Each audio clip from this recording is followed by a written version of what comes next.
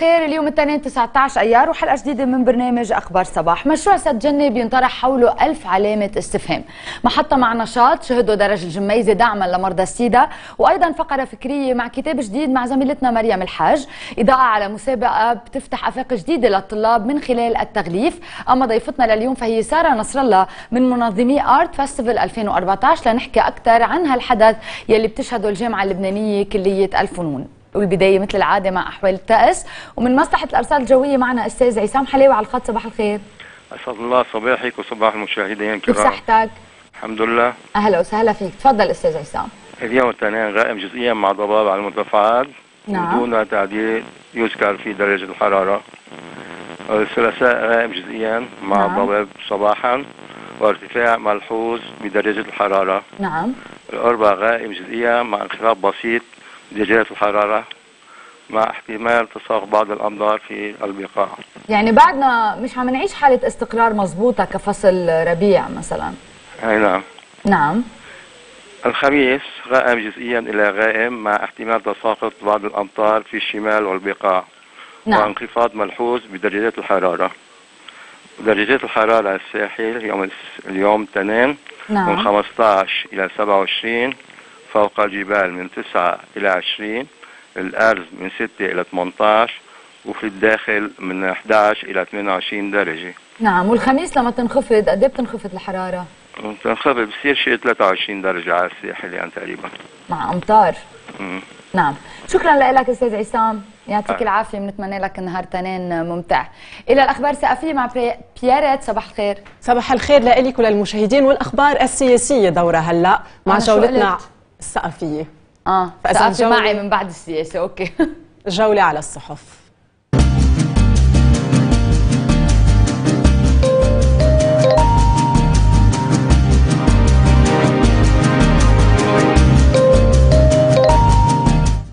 جولتنا بنبلشها مع عناوين صحيفة النهار. لقاءات باريس تمهد لمرشحي الصف الثاني. فرنسا تدعو إلى مرشح وفاق إجماعي. جعجع نال حق الفيتو والبحث تم في الأسماء غير المرغوب فيها. لو تمت التسوية فإن إجراء الانتخابات قبل 25 أيار بات صعبا. حفتر علق نشاطات المؤتمر الوطني الليبي وألف هيئة لوضع دستور جديد. مقتل قائد الدفاع الجوي السوري في المليحة باريس مبادرة إيران تساعد في حل الأزمة. مصر السجن لأكثر من 160 من مناصري الإخوان. افتتاحية النهار لليوم بألم نيلة تويني حملة عنوان أي قوة في تعطيل النصاب. وختاما سلمى حايك تقدم النبي بالرسوم المتحركة. من صحيفة النهار إلى صحيفة السفير الحريري المحرج مع عون يطمئن جعجع. لقاءات باريس المقايضة الرئاسية مؤجلة. مطلوبو طرابلس وتنظيف السجلات. فندق هوليداي إن قصة تنهيها الحرب. ليبيا تتفوق على لبنان الثمانيات. ماذا يريد اللواء حفتر؟ انقلاب على الانقلابيين أم تصحيح؟ هجوم درعا مستمر وميثاق شرف يفرق الفصائل.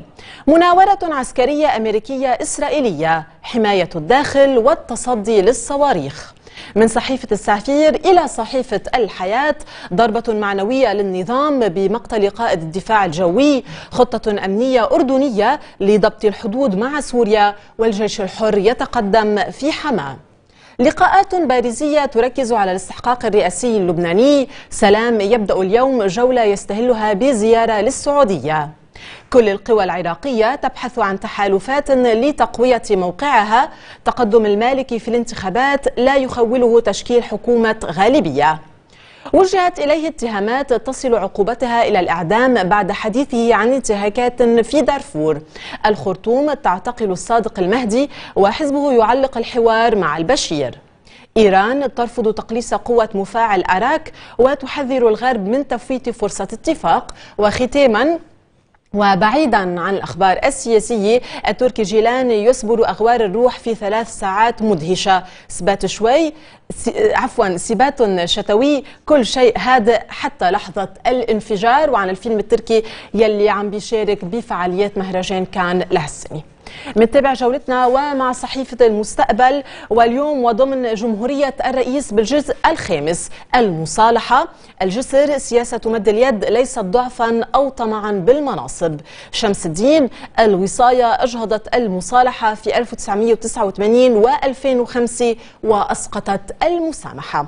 أما بالعناوين السياسية الحريري وجعجع يشددان على الاستحقاق في موعده وجنبلاط في باريس والبطريرك في السرايا اليوم. الراعي تذكروا فراغ 1988 الجربة يلتقي أولاند غدا ويجدد مطلبه التزود بأسلحة نوعية. الثوار يقتلون قائد الدفاع الجوي التابع للأسد. العراق 99 مقعدا برلمانيا للمالكي وعلاوي يلتقي البارزاني لتصحيح العملية. تمديد اقتراع المصريين في الخارج حتى مساء اليوم بعد الإقبال الكثيف. الجيش الليبي يجمد المؤتمر الوطني ويعلن حربا على التطرف والإرهاب وختاما مع صحيفة المستقبل دفراج للمستقبل قانون الشراكة أهم إصلاح نبدأ به. من صحيفة المستقبل جولتنا مكفاية ومنتابع هلأ مع أبرز ما عنوانته صحيفة الأنوار لقاء الحريري وجعجع في باريس رفض الفراغ واتصالات لمنع حصوله. يوم طويل لسليمان والراعي وجنبلاط في الشوف. مسلحون يقتحمون البرلمان الليبي ويطالبون بتسليم السلطة. عبوة على مركز انتخابي لدعم السيسي وأحكام في القاهرة بسجن 160 إخوانياً. بغداد تعلن مقتل عشرات الإرهابيين. ودائما مع الأنوار الجربة يطالب الرئيس الفرنسي بأسلحة مضادة للطيران وختاما وضمن دراسة اقتصاد. أغنياء بريطانيا بلغوا حدا غير مسبوق في الثراء. منتابع مع صحيفة اللواء وبأبرز عناوين اليوم التعادل السلبي الخميس إبعاد جعجع وعون بالأوراق. اللقاءات البارزية لتأمين النصاب والراعي في السرايا اليوم. ملف النازحين السوري يتصدر محادثات سلام في السعودية. الانتخابات السورية معارضة الداخل تقاطع والجربة في الإليزي. مقتل قائد الدفاع الجوي في معارك المليحة. قوات حفتر تنقل المعركة من بنغازي إلى طرابلس. اقتحام البرلمان الليبي واعتقال رئيسه وستة نواب. حماس حكومة التوافق الوطني قد تعلن الأسبوع المقبل. إسرائيل تلمح إلى إجراء محادثات سرية مع الفلسطينيين. وختاما وبأخبار الرياضة النجم يحول تتويجه إلى عرس جماهيري. من صحيفة اللواء جولتنا مكفاية وبأبرز عناوين صحيفة البلد لليوم ستة أيام فاصلة وحظوظ الفراغ الرئاسي متقدمة. مقتل مسؤول الدفاع الجوي السوري. ودائما مع صحيفة البلد حراك لبناني رئاسي في باريس وبري سيدعو إلى جلسات مكثفة. الأعلى للدفاع لإقرار استراتيجية الدفاعية وختاما قداس الشبيبة ببركة ذخائر البابا القديس. ومنتابع جولتنا على الصحف وبترجمة إلى أبرز عناوين صحيفة ذا ديلي ستار لليوم جميع الطرق تؤدي إلى الفراغ. القوات الليبية تهاجم البرلمان. قائد مقتل قائد قوات الدفاع الجوي السوري مع تقدم الثوار في حماة ومن صحيفة L'Orient-Le Jour إلى صحيفة ومن صحيفة The Daily Star إلى صحيفة L'Orient-Le Jour وبترجمة إلى عناوين المحادثات تنتقل إلى باريس. مقتل مسؤول كبير من النظام وضربة كبيرة للجيش السوري. عيد واحتفال. وإذا بننزل بنشوف هالصوره لجميع العاملين بصحيفة L'Orient-Le Jour يلي عم تحتفل بمرور 90 سنة على تأسيسها. هالصحيفة فإذا احتفلت امبارح بعيدها التسعين. وبالعناوين الأخرى بصحيفة لوريون نجور وزارة السياحة ولفلاف بيروت لدعم السياحة اللبنانية. من صحيفة لوريون لوجور منتابع جولتنا مع عناوين صحيفة الشرق المشنوق لن نغلق الحدود في وجه النازحين بل سنضع المعايير لدخولهم. الراعي لا أحد أعلى من الرئاسة أو يحل محلها. الحريري التقى جعجع والسنيورة في باريس ويعود اليوم إلى المملكة للمشاركة في مأدبة سلمان تكريما للسلام. عودة الروح إلى الجبل. ودايما مع صحيفة الشرق وعناوينه حزب الله الوفاق وإلا فالفراغ لوقت طويل. مصير السلسلة في الشهور الرئاسي مصر ومسؤول الدفاع الجوي في الجيش السوري. مصر تسحب الجنسية من الزهار وعائلته. ودائما مع صحيفة الشرق مفاوضات سرية في لندن بين عباس وليفني لبنان لا يشارك في سلة آسيا وختاما الحكمة إلى نصف نهائي السلة بعد ثماني سنوات. من صحيفة الشرق إلى صحيفة الشرق الأوسط. ملك إسبانيا السعودية أكبر الدول اعتدالا وتسهم في الاستقرار الدولي. الأمير سلمان وأخوان كارلوس يبحثان تعزيز التعاون. الجامعة تكلف القدوة إجراء اتصالات. حكومة معيتق جاهزة في انتظار نيل الثقة مقر الحكومة الليبية والبرلمان ساحة معارك وخطف نواب. أكد في حوار للشرق الأوسط أنه يريد أن يكون مرشحا توافقيا أو لا يكون. الجميل على فريقي 14 و8 أذار التوقف عن العناد. فرنسا وألمانيا تتجهان لرفع تمثيل الائتلاف المعارض. مقتل قائد قوات الدفاع الجوي بمعارك في ريف دمشق وختاما بعناوين صحيفة الشرق الأوسط ابنة زعيم الأمة السوداني الإنقاذ عادت إلى المربع الأول. المهدي يدعو من سجنه إلى حوار وحزبه يعلن التعبئة. إلى صحيفة الأخبار وبعناوين اليوم. حن غريب سقف ثقة الناس وختاما الجيش السوري لاقتحام مدن جنوبية درعا لن تكون الخاسرة الرخوة. وجولتنا بنختمها مثل العادة مع أبرز عناوين صحيفة الجمهورية يلي عنونت مع بداية هالأسبوع. ماذا يجري في باريس؟ والصورة عم نشوفها فإذا للقاء يلي شهدته العاصمة الفرنسية يلي جمع الرئيس سعد الحريري مع رئيس حزب القوات اللبنانية سمير جعجع وعم نشوف كمان الوزير السنيورة رئيس السنيورة. وبالعناوين الأخرى بصحيفة الجمهورية الحكمة يعود إلى النهائي بعد ثمانية أعوام بتخطيه عمشيت. جملات يلتقي أولاند بعد الفيصل ولا حماسة سعودية لترشيح عون. حماس حكومة التوافق الأسبوع المقبل وختاما بيصدر مع صحيفة الجمهورية مثل صباح كل نهار تنين ملحق خاص بالسيارات. جولتنا على صحف اليوم بتكون وصلت على ختامها رح نتوقف هلأ مع فاصل إعلاني ومن بعده طبعا أخبار الصباح بكفي مع الأخبار الثقافية. ضلكم معنا.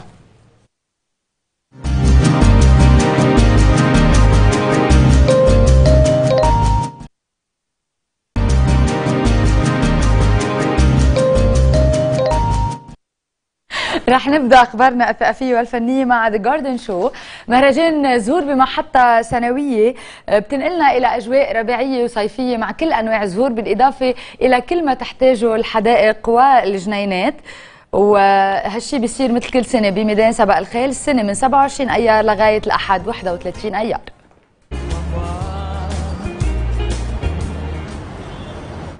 ضمن مهرجان Past Lives يلي بتستقبله مترو المدينة ويلي بيعرض خلال شهر أيار كل نهار تنين أحد الأفلام. اليوم تنين 19 أيار فيلم بعنوان إلى أين للمخرج جورج نصر هالأمسية من تنظيم نادي لكل الناس ومن إخراج جورج نصر بنشوف هالفيلم. أو مشاهد منه. وأنا! وين ليلى؟ ليلى ناطرة العرسان ليشرفوا لوين أخذ الحصان؟ أبوك طلبه. وأنا يا أختي بروح معك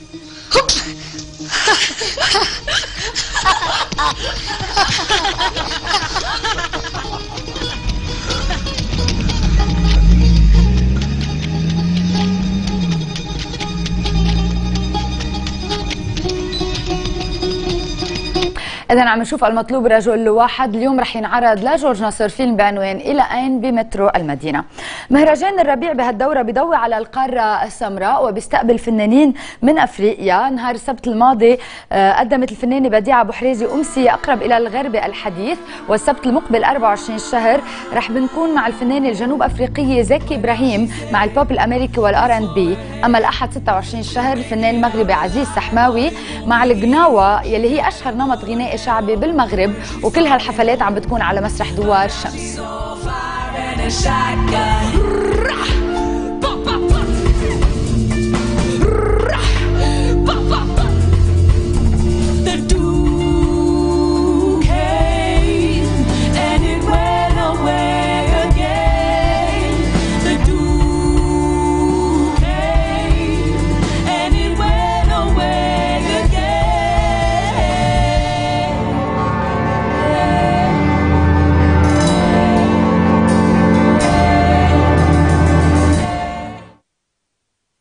منتابع وللسنة العاشرة على توالي بشارك الجناح اللبناني مدعوم من وزارة السياحة بسوق الفيلم على هامش الدورة 67 من مهرجان كان السينمائي الدولي يلي بيستمر لغاية 24 أيار. وهيك بخصص الجناح يوم 18 أيار كان لمناقشة توجهات السينما اللبنانية بحضور بعض المنتجين والاختصاصيين. وبالتعاون مع مكتب وزارة السياحة عم تعرض مؤسسة سينما لبنان ب 21 أيار بكرة محمود حجاج الروائي آه، طالع نازل الفيلم وثائقي طالع نازل وأيضا وثائقي طيور ايلول اللي عم نشوف منه بعض المشاهد للمخرجه سارة فرانسيس.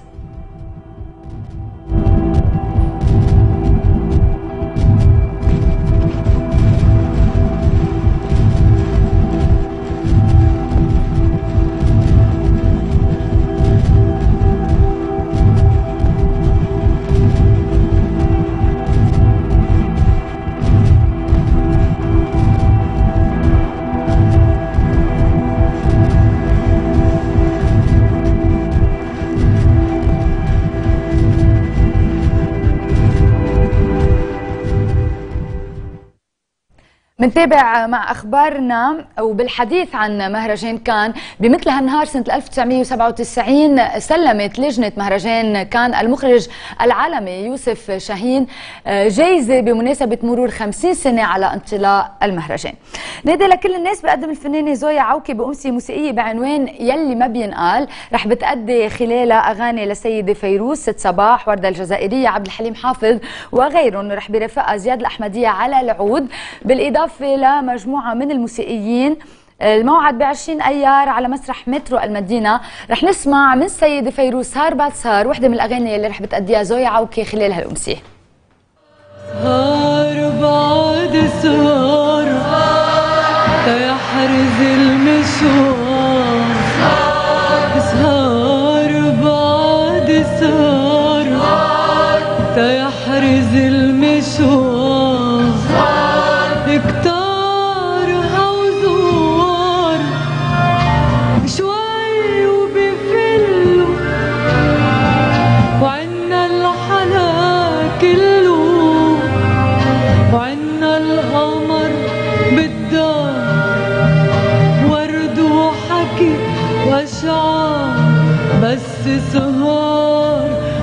this heart is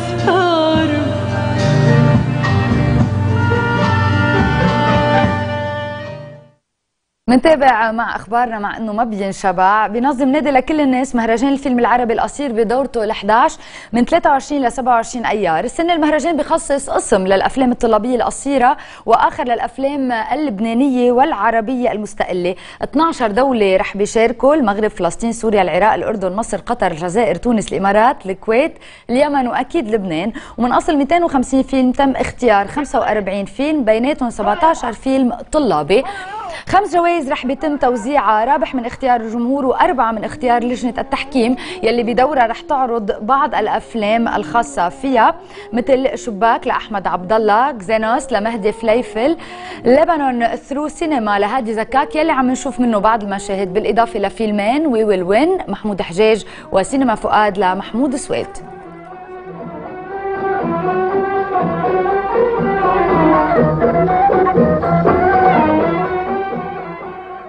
نذكر انه المهرجان أيضا بخصص زاويه لأفلام المخرج مارون بغدادي وختام المهرجان رح بيكون مع حفلة موسيقية مع الفنان محمد محسن وفرق من مصر ومن لبنان.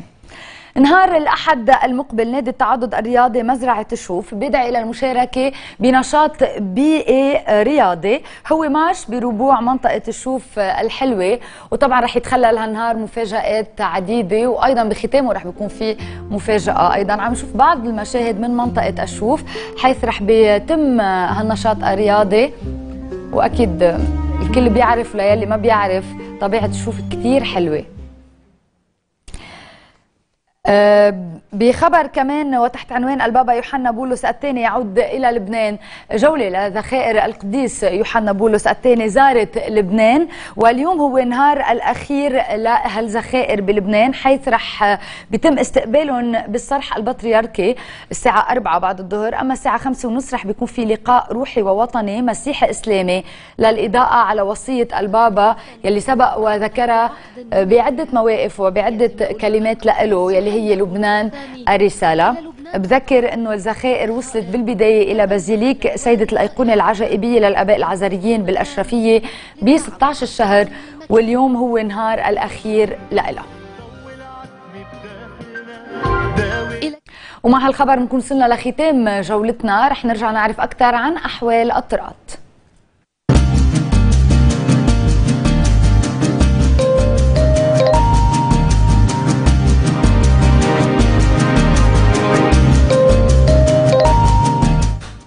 جولة على حركة السير اللي عم تشهدها الشوارع ببيروت لصباح يوم الاثنين وعم نشوف حركة السير على جسر سليم سلام يلي هي حركة سير ناشطة. ما في بعد توقف للسيارات.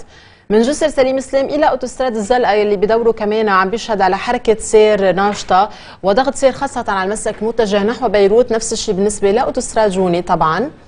من أوتوستراد جونيه إلى مثلث خلده يلي عم بيشهد على ضغط سير كبير لليوم بكافة الاتجاهات ومن مثلث خلدي إلى غرفة التحكم المروري ومعنا على الهاتف المؤهل جهاد أبو زكي لناخذ منه تفاصيل أكثر عن حركة السير مع بداية هالأسبوع. صباح الخير.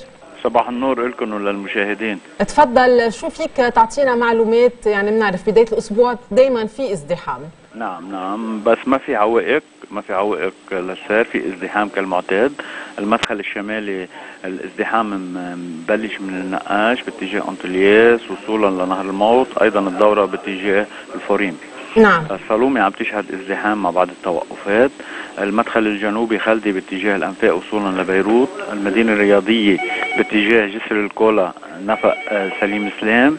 أيضا أوتوستراد الياس الهراوي باتجاه اوتيل ديو ساسين. نعم. هيدي المحاور اللي ذكرناها عم تشهد ازدحام صباحي مع بعض التوقف. نعم.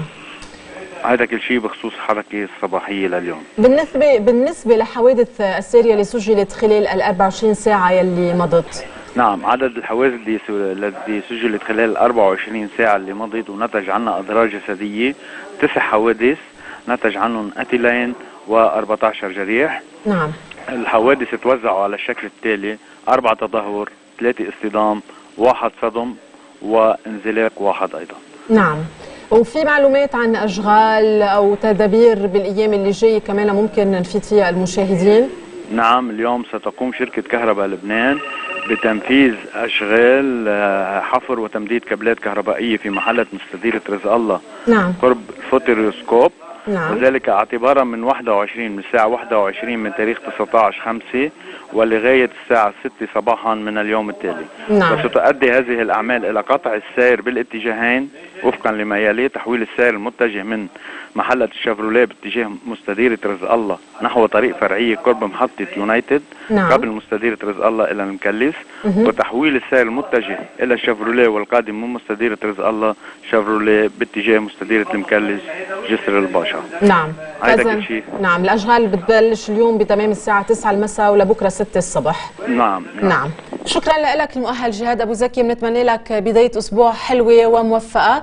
نحن رح نتوقف هلأ بعطيني فاصل ومن بعده طبعا تقرير أخبار الصباح المنوعة مع بدايه هالجمعه بتبلش فكونوا معنا.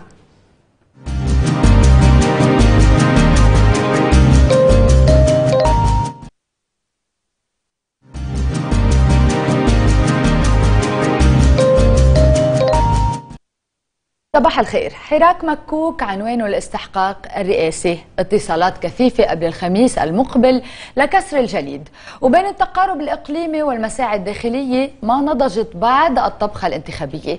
وبين بداية الأسبوع ونهاية المهلة الدستورية ب 25 أيار عقارب الساعة عم تمشي بسرعة إما باتجاه الدخول إلى فراغ والشغور وإما الوصول إلى اختيار فخامة رئيس الجمهورية. بالانتخابات سالدو أكبر وبمشاريع السدود صفقات مشبوهة ومحسوبيات. مشروع سد جنة بينطرح حوله ألف علامة استفهام. فبين تمسك وزارة الطاقة بمشروع السد رغم تحذيرات وزارة البيئة وتخوف الجمعيات البيئية من أثاره السلبية على الوادي اللي يعتبر ثروة سياحية وبيئية. ورغم معارضة الأهالي لقيام المشروع يلي اعتبروا المهندسين أنه غير مفيد من الناحية الجيولوجية إلا أنه على من تقرأ مزاميرك يا داوود. لنضوي أكثر على الموضوع بنبقى مع تقرير لزميلتنا رولا أمين الدين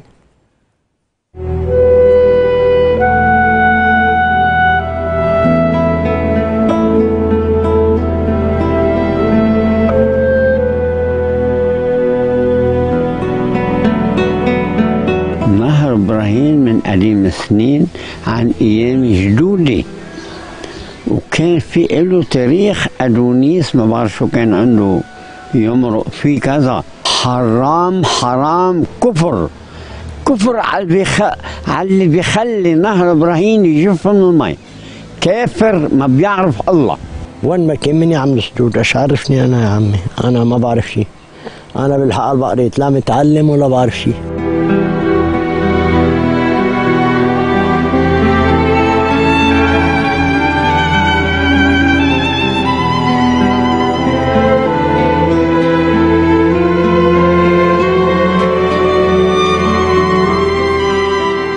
بين سد شبروح وسد برصة بالضنية تنقل الفشل. دفعت الأموال الباهظة ونفذ المشروعين دون جدوى.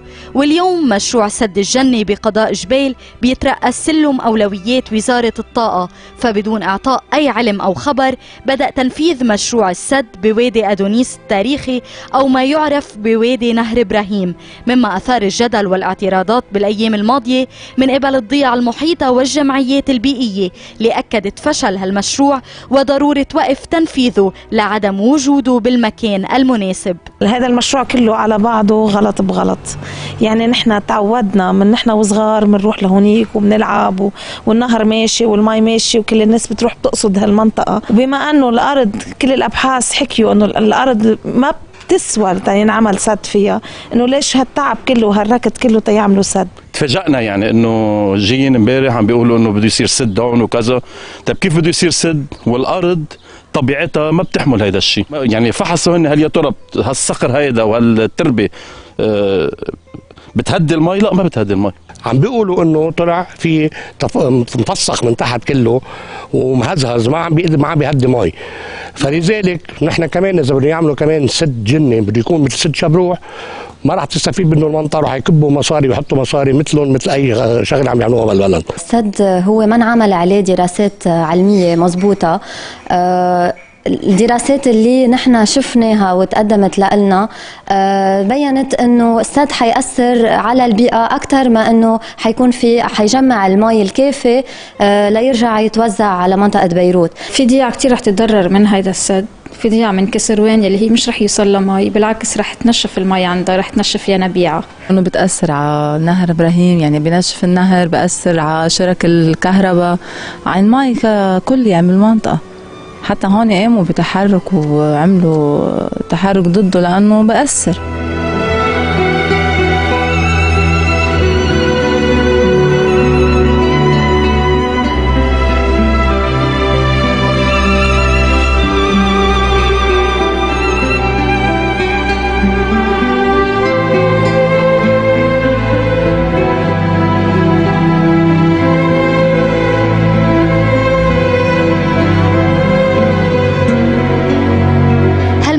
بدأ تنفيذه من قبل وزارة الطاقة ودون إخبار وزارة البيئة للاطلاع على مضاعفاته البيئية أثار علامات الاستفهام. فالعلماء الجيولوجيين أجمعوا على عدم قدرة أرض بلدة الجنة بوادي نهر إبراهيم على تخزين المياه بسبب تشقق الصخور والتربة مما يعني تسرب المياه وهدرة إضافة إلى جفاف نهر إبراهيم والينابيع المحيطة. وبين مطالبة أهل بلدة الشوان ويحشوش وغيرها بوقف المشروع وإصرار وزارة الطاقة على المباشرة. بيبقى مشروع سد الجنة مجهول المصير وبرسم المسؤولين.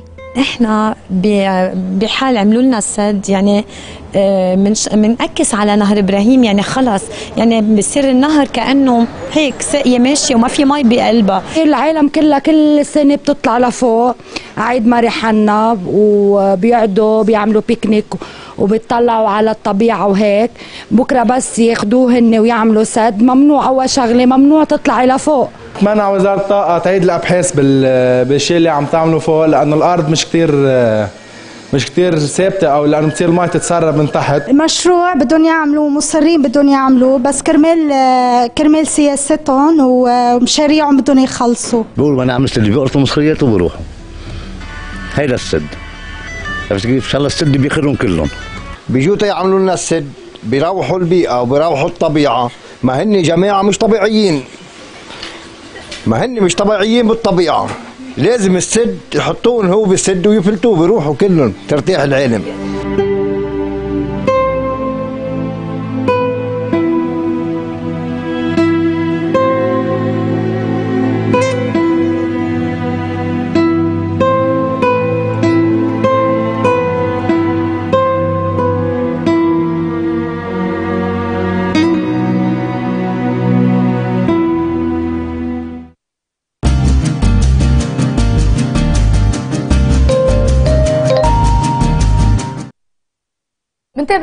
حلقتنا من أكثر الأمراض يلي ممكن الإصابة فيها من خلال العدوى هو مرض السيدا يلي ممكن بكل بساطة تفاديه عبر الوعي والوقاية. بمناسبة اليوم العالمي لمرض السيدا وبهدف توعية الأشخاص خاصة الشباب منهم رح ننتقل إلى نشاط من تنظيم جمعية Vivre Positif شهده درج الجميزة حيث تمت إضاءة الشموع. تفاصيل أكثر بهالتقرير.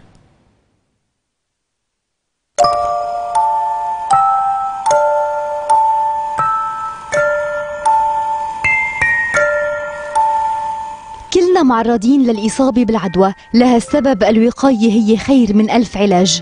هالشعار هو من أجل صحة الإنسان ولمكافحة السيدا أقامت جمعية العناية الصحية وجمعية Vivre Positif نشاط توعوي على درج مار نقولا بالجميزة أضاءت من خلال الشموع بمناسبة اليوم العالمي للسيدا جمعية العناية الصحية بخصوص مرضى مرض الإيدز آه، نحن أكثر شيء شغلنا بالوقاية بالتوعية وكمان بالمتابعة والدعم للأشخاص المتعايشين مع الفيروس. الفكرة من وراها هي إضاءة شموع للأشخاص اللي توفوا من ال HIV AIDS هيدي كانت البداية.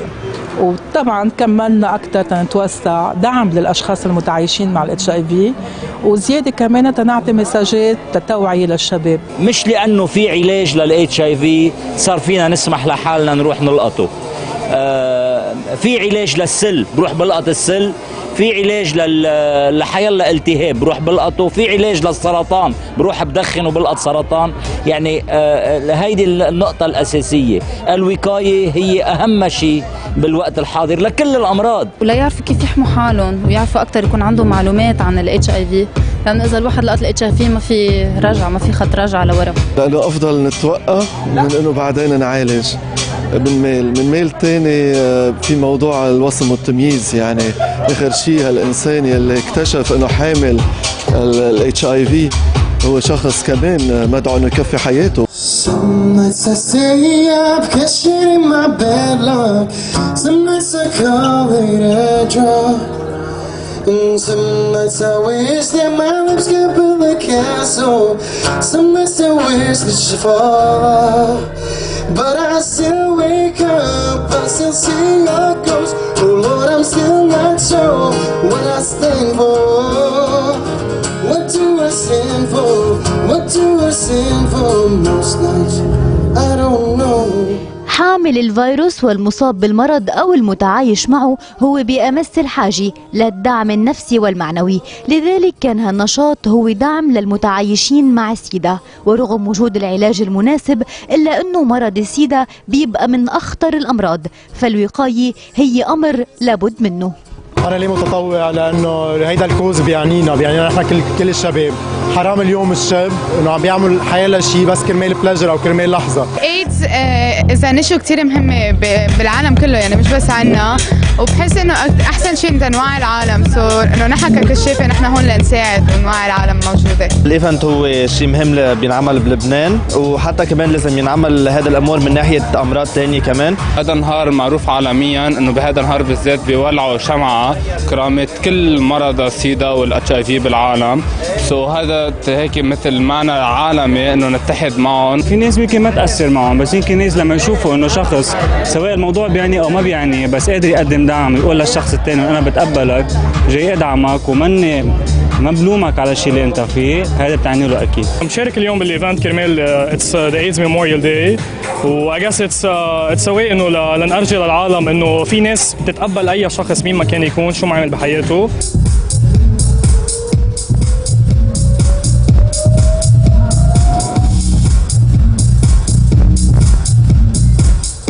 بس أكيد الأشخاص المصابين بالسيدا هن مش أشخاص مهمشين أكيد نحن واقفين حدهم وأكيد من بنساعدهم بس أكيد لازم نحمي الشباب من هذا المرض. عندنا جمعيات اللي هي تابعة للدولة عم بتأمن بالنهايه العلاج الكامل للأشخاص اللي عم بيعانوا من المرض.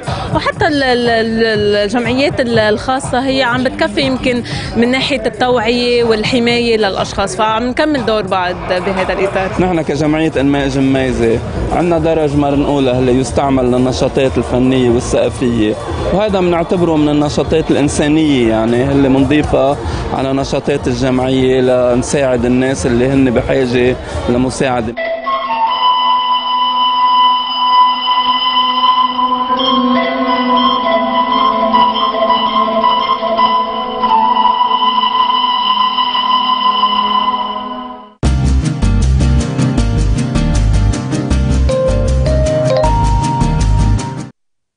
ودايما بشوارع بيروت رح ننتقل هلأ لفقرة كلمة اليوم لنشوف كاميرا أخبار الصباح بمين التقت وشو هي الكلمة. من بعدها فاصل إعلاني وأخبار الصباح بيتابع.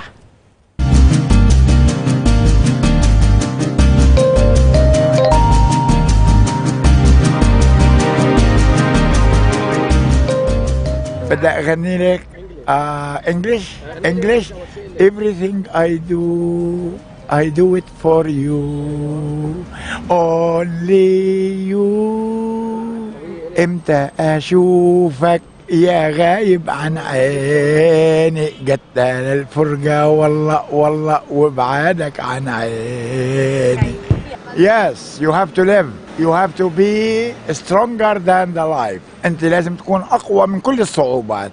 ولا ما في مصاري بدك تعيش حياتك. You can be happy even you are in the present. يعني السعادة مش بالمصاري. السعادة لا تكمن في المال أنت تعلمي أين هي السعادة؟ عندما يتفق الإنسان ونفسه.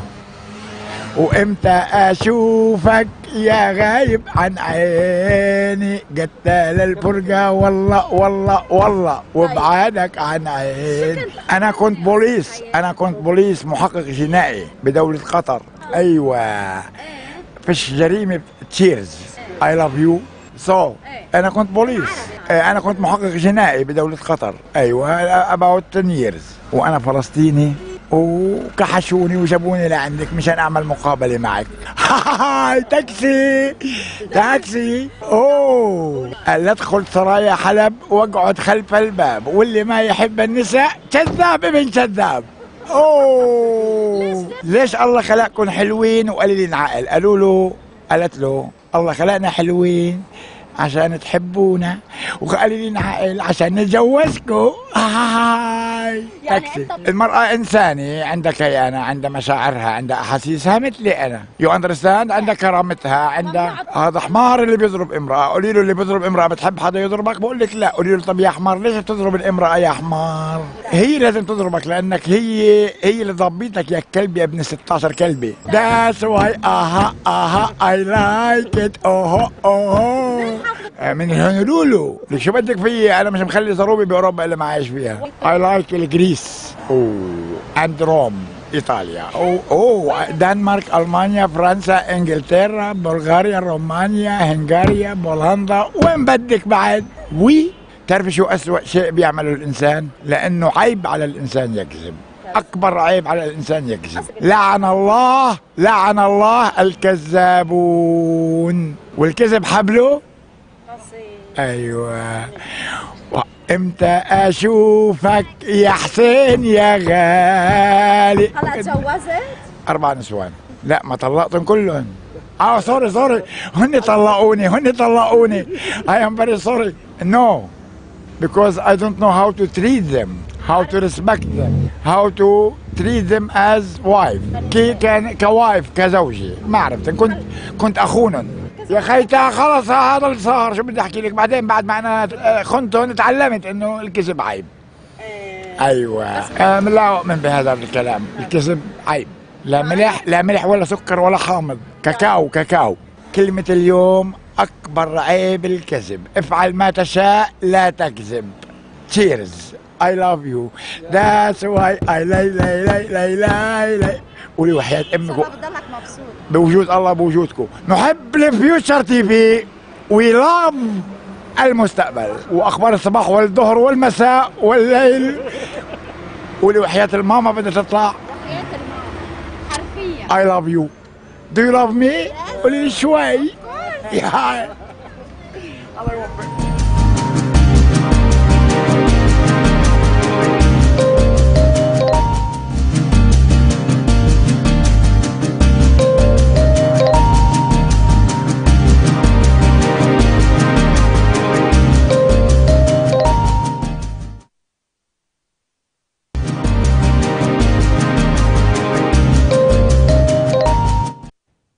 لعند زميلتنا مريم الحج بننتقل هلا لنطلع معها على إصدار جديد. مريم صباح الخير. صباح النور. bonjour. كيفكم كيفك أنت؟ كيف النشاط ببداية الأسبوع؟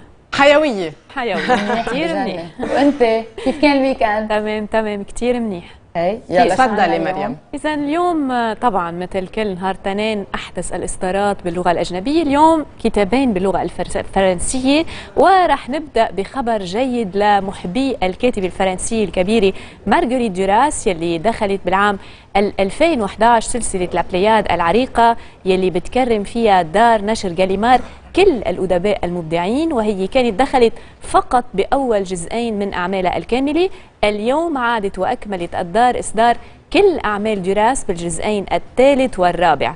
إذا 50 كتاب لدوراس جمعتهم جاليمار بأربع أجزاء بالإضافة لكامل أرشيف الكاتبة وأوراقها الخاصة.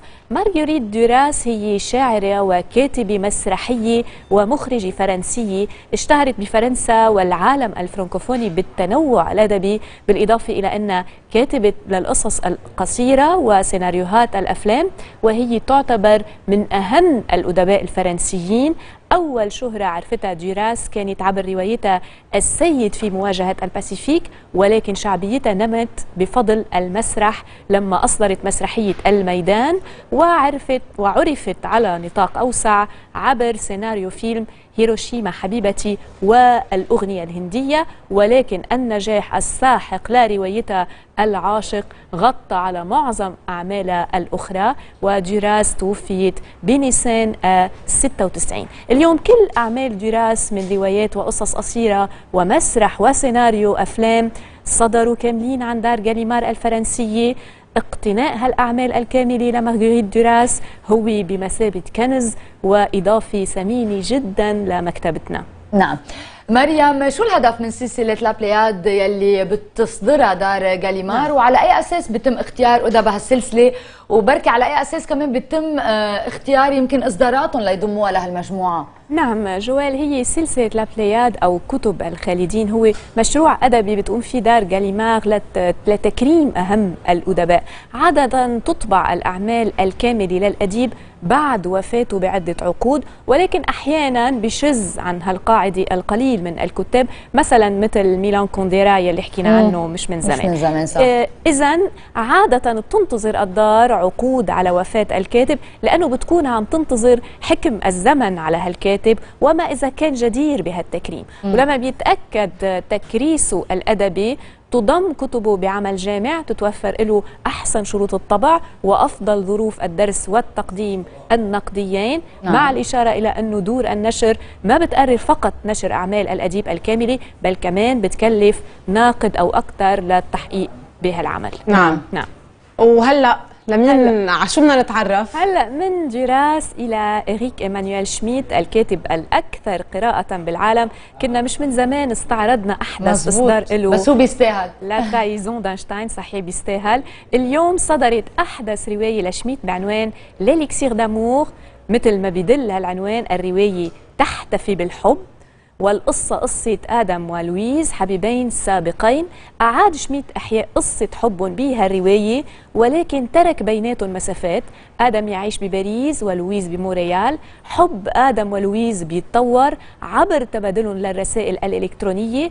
ومن خلال هالرسائل بيقدم شميت تأمل حول الحب الشغف الصداقة الوفاء الجنس و ألم الفراق. إذا الرواية اتخذت شكل المراسلة بين حبيبين.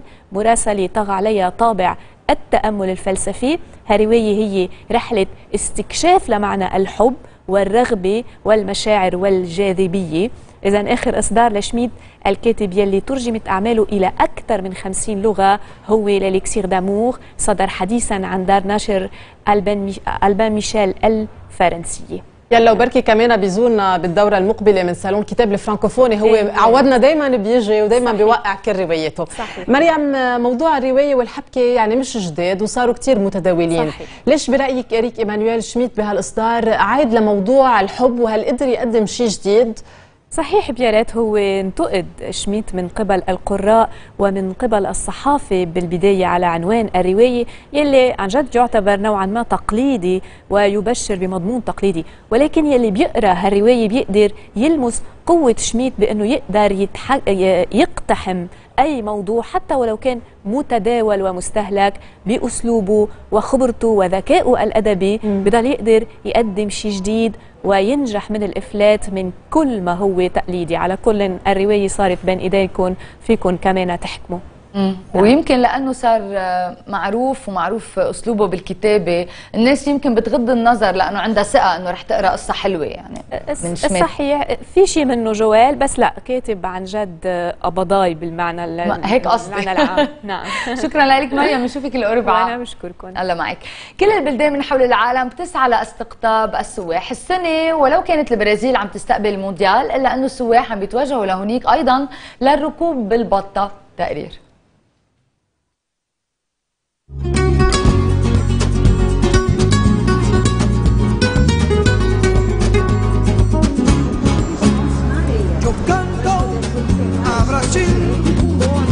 بالبرازيل الجولات السياحية عم تغطي اليابسة والمي. سيارة بتتسع ل 28 شخص بتدور بأهم شوارع ريو ولما توصل للبحر السائق بينزل وبيقعد مكانه بحار ومحرك الديزل بيتوقف عن العمل لتصير السيارة مركب.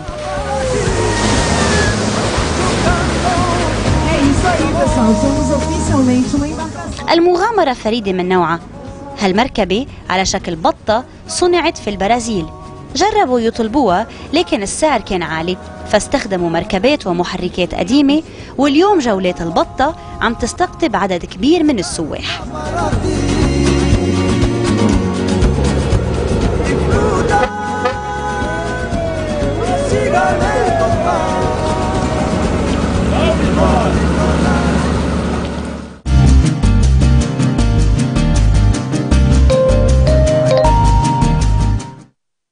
ومرحب بضيفتنا لليوم سارة نصر الله من منظمي Art Festival 2014 صباح الخير سارة. موجود. وأهلا وسهلا فيك معنا باستوديو أخبار الصباح. بدنا نحكي عن الدورة الرابعة ل Art Festival 2014 اللي عم تستضيفه الجامعة اللبنانية. وتحديدا فرع الفنون.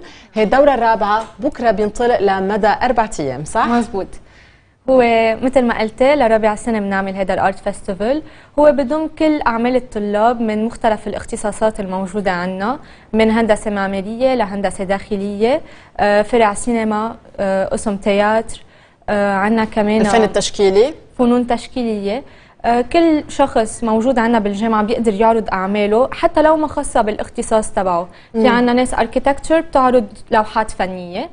و شو هدف آه، هالمشروع؟ والطلاب هل هن طلاب سنة أخيرة ولا مش مش ضروري؟ لا مش ضروري. كل طالب عندنا بالجامعة بيقدر يقدم مم. وشو الهدف؟ الهدف إنه نفرجي إنه قد إيه عندنا قدرات فنية بالجامعة، الأعمال اللي بتصير عندنا بالجامعة نعرضها لل للزوار. نعم للزوار. بتجي شخصيات آه، خاصة بالشأن العام، شخصيات فنية، إعلامية، نقابية.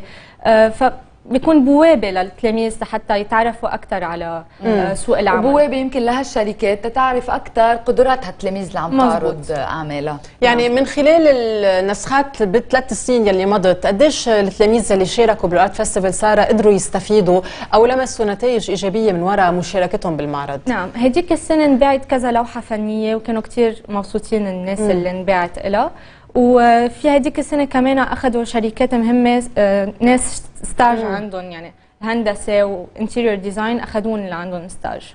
نحن عم نشوف بعض المشاهد من آه، هي السنة الماضية أو اللي قبلها؟ لا هيدي السنة الماضية السنة الماضية على parade. جبنا زف نعم okay. قديش برأيك آه، آه، يعني صارت الجامعة بهالوقت وقت المعرض صارت مقصودة من قبل الناس؟ يعني بتقصد تروح تشوف بركة تستعين بخبرات طلاب جداد؟ مزبوط. هو كل سنة بهذا الوقت نحن بنعمله ودائما كتر خير الله بيكون في كثير أشخاص عم تيجي. تشارك. قديش طلاب من غير جامعات سارة كمان هن بدورهم عم بيجوا آه، يشوفوا أعمال طلاب الجامعة اللبنانية؟ يعني عم بصير في دعوات للطلاب مش بصفة رسمية كرمال يجوا يشوفوا المعرض عنا. وعم بيكون في عدد معين عم يجي. بكرة أول نهار للمهرجان بكفي نعم. على مدى أربع أيام. على مدى أربع أيام. من أي لن- ساعة؟ من الساعة 12 الافتتاحية وبضل ممتد لنهار الجمعة بيخلص الساعة 10 مم. وبدي أذكر إنه بصير آخر النهار في tombola ومن الأشخاص اللي شاركوا لإنجاح ال tombola فينا أذكر آه، ميريلا Dance Club ASC اللي هو Advance Sport Center في عنا و ANC Rent Car وكثير غيرهم. okay آه، في تيم معين أو موضوع معين للأعمال ولا آه، لا. free كل واحد بيشتغل كل واحد بقدم أعماله اللي عاملها بالبيت إذا بدك أعمال حرة أو البروجيات اللي صاروا ضمن إطار الجامعة.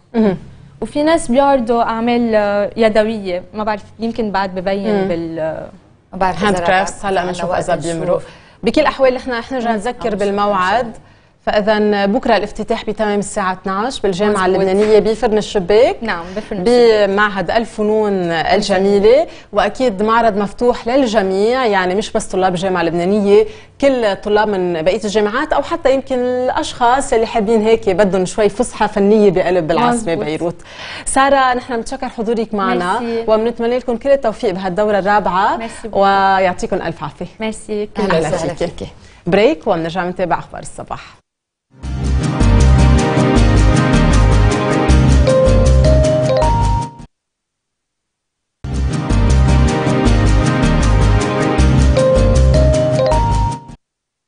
ضمن النشاطات المسرحية يلي عم تشهدها العاصمة بيروت بدأ عرض مسرحية مرة لوحدة للمخرج شادي الهبر على خشبة مسرح مونو. نص العمل هو لداريو فو وزوجته فرانكا راما. هالعمل كتب سنة 1977 وتحول لمسرحية.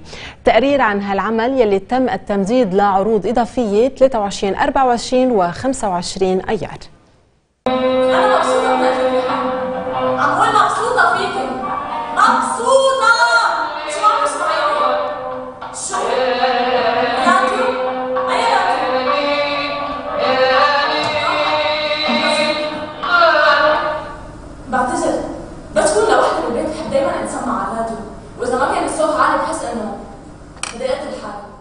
مرة لوحدها على خشبة المسرح مسجونة بسجن الذكورية.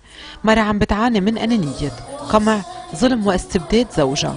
عم بتعاني من تحرش خيو الجنسي فيها من تلصص الجار عليها من تحرش أحد المتصلين فيها ومن إلحاح عشيقة لأصبح مدمن عليها وما عرف يحبها. هالمرة اللي لوحدها اللي عم بتعاني من همجية الرجال حولها هي الممثلة خلود ناصر اللي جسدت دور امرأة مجهولة الهوية بمسرحية مرة لوحدها اللي من تمثيل خلود ناصر ومن إخراج وفكرة شادي الهبر. اللي اقتبس نص داريو فو وفرانكا راما وحولوا لمسرحية حملت عنوان مرة لوحدها بفتكر مرة لوحدها اليوم هي آه، كل مرة ممكن يكون عايشة شيء من هيدي المسرحية. ممكن يكون جملة بتظهر كل مرة من هيدي المسرحية. آه، وأكثر شيء بنسلط الضوء على النساء يلي هن آه، معنفين آه، بحياتهم معنفين اقتصاديا معنفين آه، جسديا آه، معنويا كل هال- هالأنواع التعنيف يلي هو موجود بهيدي المسرحية هي بقفل البيت كل يوم بس يظهر بتركني بالبيت غراض البيت هو بيجيبها شو قصدك بالحالات الطارئة؟ لا لا أنا بيتي ما بصير شيء نحن عائلة كتير رايقة هذا الدور هو بصراحة تحدي كبير لإلي لأنه هو دور أول شيء سولو وأي ممثلة بتتمنى أنه تلعبه آه، أنا بالنسبة لإلي هو عطاني كتير لأنه كل طاقتي كممثلة فجرتها بهيدا الدور. ظبط مني هالمرة كمان. دايما هيك. بيتلصص علي بيرجع بيتخبى هالجبان اللي بتطفل الوسخ الحقير الحيوان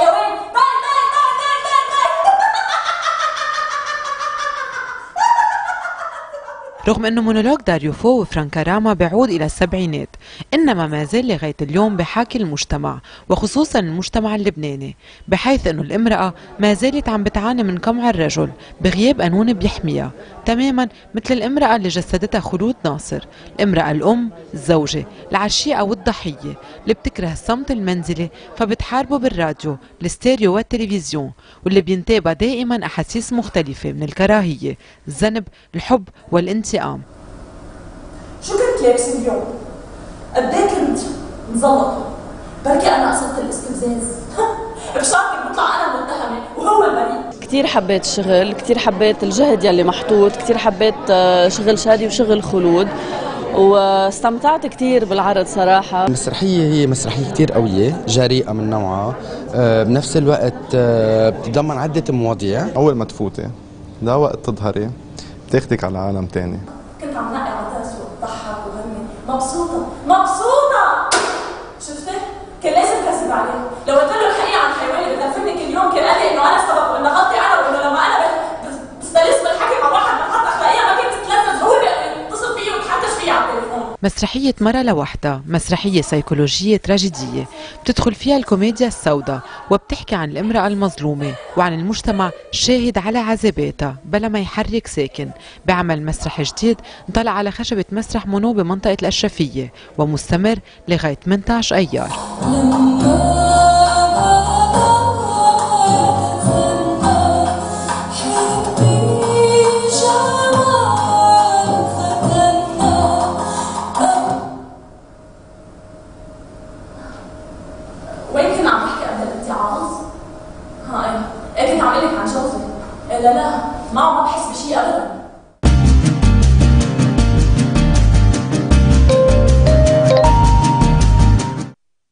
وبهالوقت بنوصل لختام الحلقة ومثل العادة قبل ما نودعكم ننتقل إلى استوديو كلام بيروت مع زميلتنا رولا كساب حداد يلي اشتقنا لها bonjour الحمد لله على السلامة bonjour أنا كمان اشتقت لكم كيف كانت تركيا؟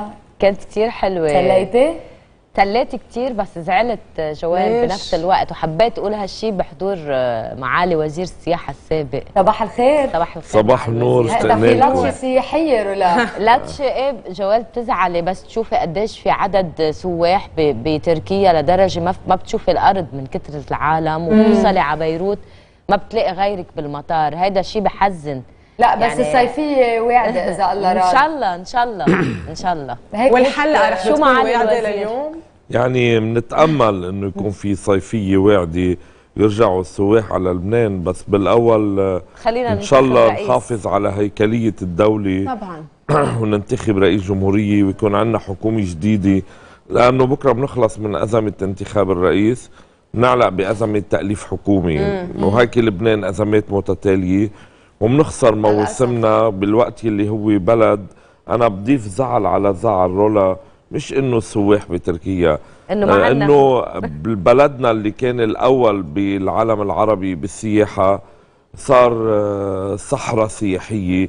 ما بقى فيها عالم. تقولوا هيك وللأسف. خلص. بدنا طاقة إيجابية. مع. بدايه الأسبوع يا عمي طاقة إيجابية. بركي بركي بنوجع لهم قلبهم للي بإيدهم الحلوى بركي بنوجع لهم قلب- قلبهم للي بإيدهم الحلوى الربط وبيعرفوا قيمة شو عم بيخسروا لبنان كل يوم.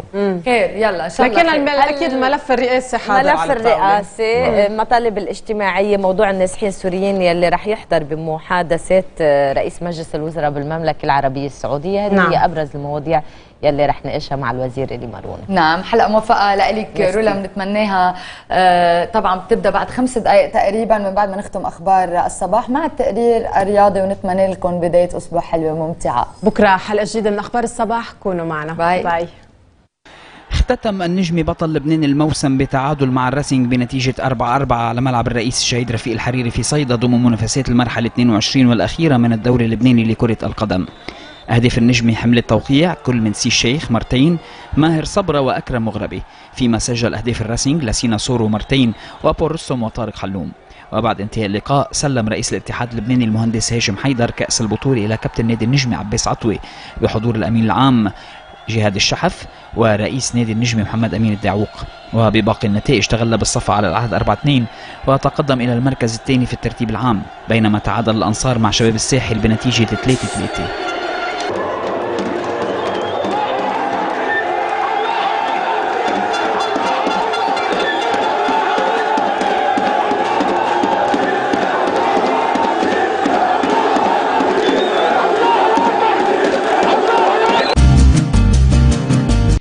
بدعوة من النائب بهي الحريري وتحضيرا للمعسكر التدريبي لمؤسسة نادي ريال مدريد يلي رح يقام في مدينة الرئيس الشهيد رفيق الحريري الرياضية في صيدا بدءا من 20 حزيران المقبل وبالتعاون مع نادي الأهلي صيدا وبلدية المدينة.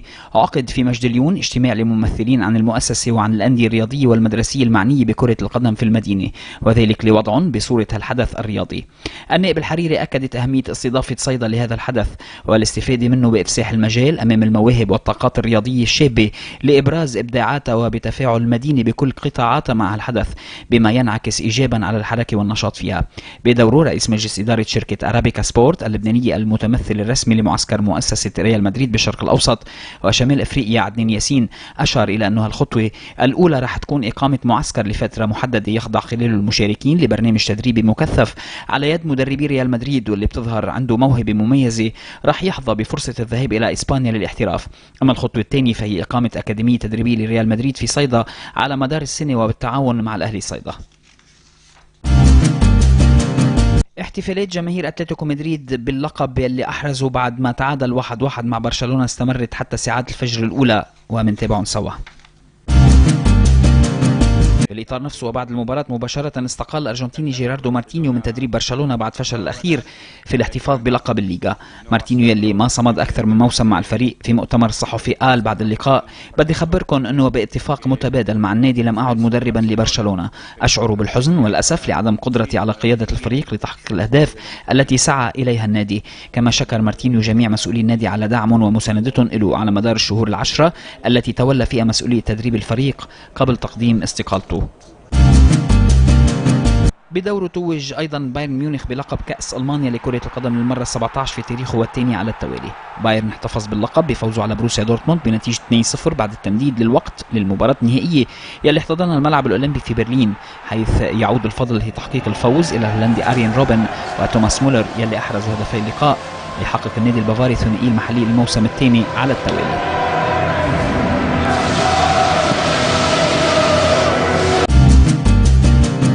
من جهته فك أرسنال صيامه عن الألقاب وصعد إلى منصة التتويج للمرة الأولى منذ العام 2005 وذلك بعد ما توج بطلا لكأس إنجلترا بفوزه على هال سيتي بنتيجة 3-2 بعد التمديد للوقت للمباراة النهائية يلي احتضنها ملعب ويمبلي. ويدين فريق المدرب الفرنسي أرسين فينجر بإحراز اللقب إلى الويلزي أرون رامسي يلي سجل هدف الفوز في الشوط الإضافي الثاني من المباراة. ليتم تتويج أرسنال بلقب الكأس ويعادل الرقم القياسي لعدد ألقاب المسابقة المسجل باسم مانشستر يونايتد وهو 11 لقب.